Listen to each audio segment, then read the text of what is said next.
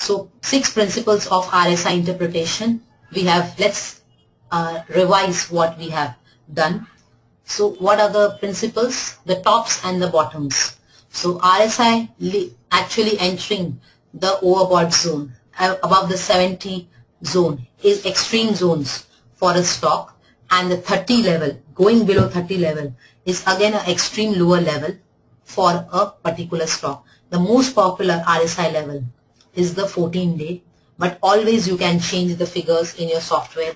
It could be a 7 figure, it could be a 9 day RSI, whatever you find suitable according to your price chart that can be used. But always remember whenever RSI enters this above 70 zone, that means that it's time that you don't buy any extra thing. If you are already on a buy side, hold on, hold on. Unless in the price chart you are getting a reversal, you keep on. But first signs RSI already above 70. But stock giving a negative divergence or a signal of a sell or a bad news, a bad result or candlestick reversal, it could be anything. But that gives you an indication it's time to book profits in the long. If you wanted to short, it's the best time to short because here the risk is the least.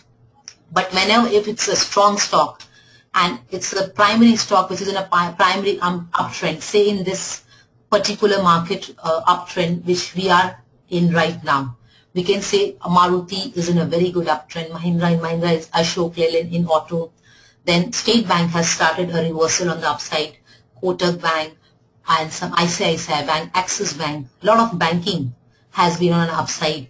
Some of the cyclicals like Apollo Tyre has been in an uptrend. So these stocks, in these stocks, whenever it comes above the 70 level, it means that it's time to book some profits. And whenever the RSI daily of these charts are coming below 30, it will not be every month or every week. Maybe in one or two months, it will give you an opportunity. In that case, what you do is whenever it's come to, coming to an RSI oversold level, look for a buying opportunity in the price chart. It could be any kind of reversal signals because if again the RSI in a strong stock has a tendency that whenever it, come, it comes to an oversold level, from there it can bounce back and again go to test the overbought level. Again when it comes near the overbought level, it's time to book some profits and let it come either around the 50 level or below the 30 level and look for buying opportunities again. And you have to, price, price chart has to be the primary importance thing. So just entering the oversold or the overbought is not enough. Along with this, any kind of indication in the price chart when used in conjunction with RSI can work very well. So look for opportunities in the price chart. So whenever a strong stock in a daily chart comes to, it has to, if it comes to an RSI level from 70 to 30 or below 30, it has to be some kind of good correction or some kind of good bad sentiment in the market for that stock. That is why it has given a correction. And this correction, if the fundamentals still look good for the company in the coming days, you should buy them when the RSI is below the 30 level. And whenever they are coming around the 70 level, look for opportunities where can you can book your profits. When it's the reverse, the stock is in a downtrend.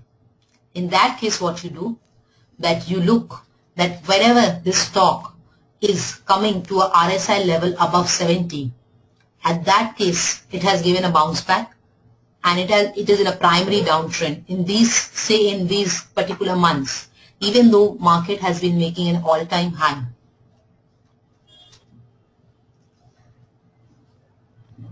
chart moves above the Yes, you can look for shorting. I told you Bollinger Band even.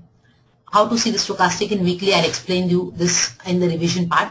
But the important thing is when the uh, upper Bollinger Band part is being tested and the RSI level also tests above 70.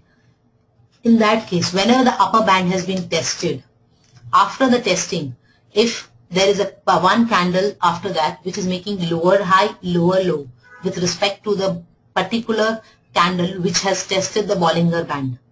In that case, you can take a calculated risk with a RSI above 70. You can look for a selling opportunity. A better is, how do you short? You short below the low of the particular candle which has made a lower high, lower low with respect to the particular candle which has tested the Bollinger Band. And below the low, you short keeping the high of that candle as stop loss. So what happens that RSI already overbought and Bollinger Band being tested and lower high, lower low make, being made with respect to the previous bar which has tested the Bollinger Band. It's a calculated risk you take. But the powerful one will be, more powerful one be, if the stock tests the Bollinger Band. And after testing the Bollinger Band when the RSI was above 70, the stocks makes a reversal pattern. Especially the most popular one are the candlestick reversal patterns. Yes, yes, weekly charts. You can use both stochastics and RSI. Okay, how to use stochastic in RSI? The one I gave you saucer and the inverted saucer. They work very well in the weekly particular weekly charts. They work very well.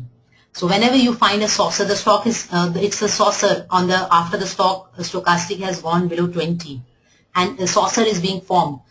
It will take many weeks for the saucer to be formed and the stock, stock, a particular saucer starts moving above the 20 level.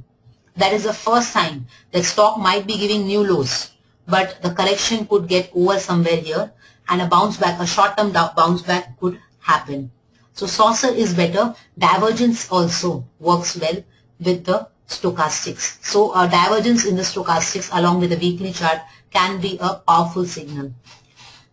Uh, whether 7, 14, 10 days. Now this depends. This entirely depends that if you are doing it in a daily chart, maximum you take a trade is say 14 days you can get your uh, profits. Now that depends on how much correction has taken. Suppose from a price recently high made in a very strong uptrending stock, the stock has fallen for say a period of two months. If it's a fall after two months when the RSI has come to an oversold zone and you are looking for a support zone where you can buy this strong, strong which is, has been in a downtrend for just uh, one or two months but the overall trend is up. So in that case it might not give you a, a trade in just uh, 14 days. It might take a month for you to get a very good uh, upside swing. But suppose the daily RSI you are checking and in just 7 or 8 days or maybe 10 trading session the stock has given a fall.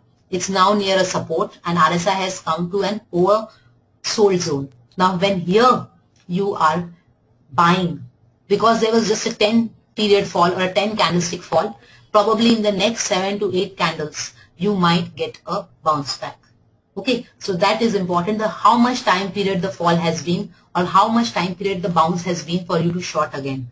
You can play both sides, but the time period remains important. So if the fall has been for just 7-8 days, maybe the, when it bounces back, within 4 to 5 days or 7 days maximum, it will give you a bounce back. But if it is a fall which has taken 2 months to recover, in that case, it might take one, one and a half month to get a very big target. And that definitely, if it's a fall of 2 months, say the fall was 15%, you can expect another uh, 10 to 15 percent move on the other side if you get it right. So that depends on the time frame. In RSI, you can also be used in the weekly, in the along with in conjunction with stochastic. In the RSI, yeah, yes, Yes, that happens that during the bull market, most of the stocks are above the RSI 70 levels and continue being overbought. Does it mean that the RSI does not work in the initial phase of a bull market? No. That's why I told you that just shorting there is not a good idea. Keep on with your long. And if it gives you a sell signal in the price chart, only then you are actually shorting or you are exiting your long. So just entering the RSI entering the 70 zone is not enough for you to short. It might be in the 70 zone, but it has a tendency that it actually reverts back. It's, if it's in a very strong uptrend, it might not test the oversold zone. It might come around the 50 level. And that happens. It may be once in two months. Still, it has a tendency that it will bounce back from those levels. If it's a weak stock or it's a stock which has a lot of fluctuation, in that case, every two to three months, the RSI level might come below 30 and it gives you a swing opportunity to buy this stock around a RSI oversold. Yes, just uh, what was the question? Let me check that.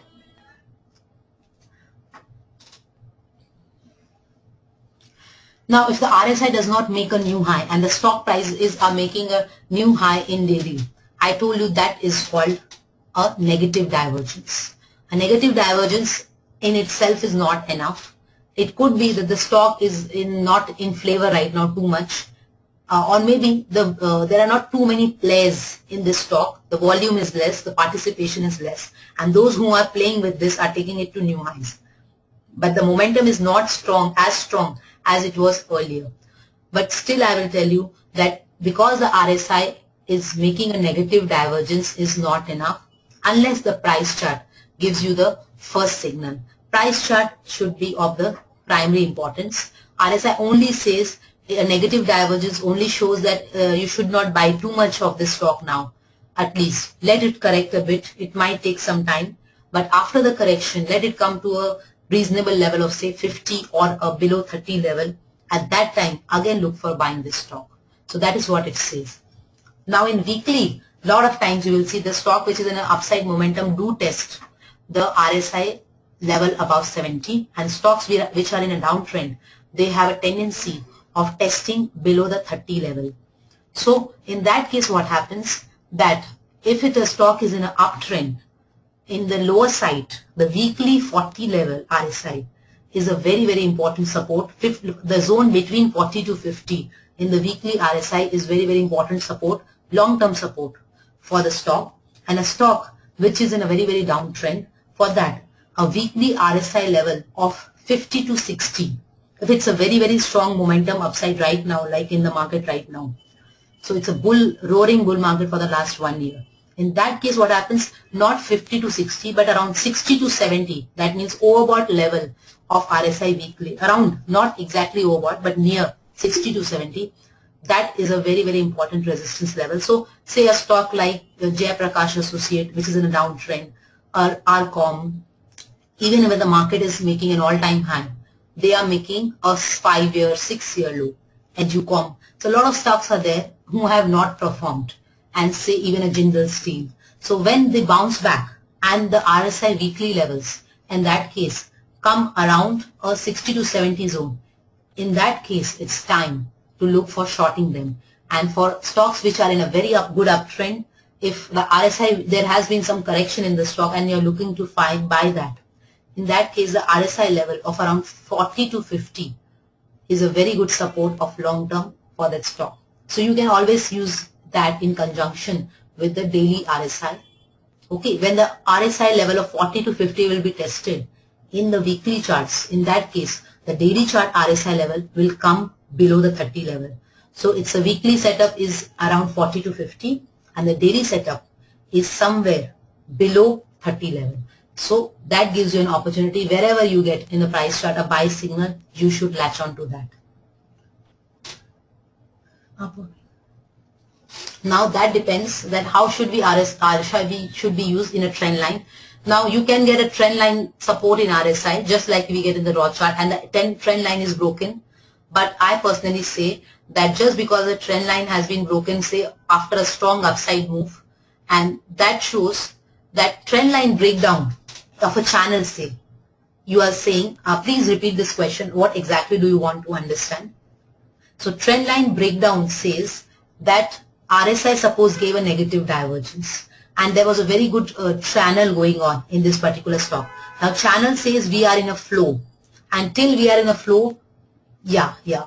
So what happens that generally what happens if the RSI has given a negative divergence and the stock has actually broken the lower part of the channel, then in that case, that is important. Just because the RSI is somewhere middle is not enough. If the RSI is over is above the 70 level and in that case and at 70 level the stock is actually uh, has broken a channel on a lower side it was a breakdown in that case that can be important it shows that RSI giving a negative divergence plus the stock breaking an important support level a trend line support is an indication that probably the stock could fall from here and the correction could be a good one Similarly, if the RSI is in oversold zone and it has started, yeah, it's time to exit. It's time to exit your long position and enter short position. Because it's a, it was a negative divergence and a support has been broken, a support trend line has been broken, a channel support lower line has been broken, it means that you exit your long position and if you wanted to enter a short position, you were looking to short this stock, it's time to enter a short position. And if the reverse happens, daily chart analysis, yeah, the figures will be that if it's a strong uptrend and the stock has already tested the RSI oversold, overbought level. That means most of the time when the stock is in uptrend like now, right now, if you go through a Maruti, Maruti chart or a Mahindra and Mahindra or say some of the Ashok Leyland, if you go through these charts, what you will find is that these stocks, the most of them, the, even the daily RSI level is above the 70 and even the weekly in recent time has tested the 70 level. So here it shows that probably since it has tested the 70 level, if it gives a correction, that is where you wait.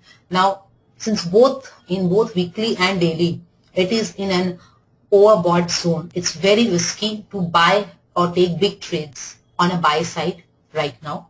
Now, suppose after testing the overbought zone, if it comes or actually there is a some some kind of correction and the stock comes to test the RSI on daily basis, say a 50 level, here you can look for opportunities that do I am, am is there a moving average support or is there a candlestick reversal pattern here or there is some uh, XYZ news in this stock because of it you can again after the correction buy it at a cheaper price. So again you check also the stochastic at that time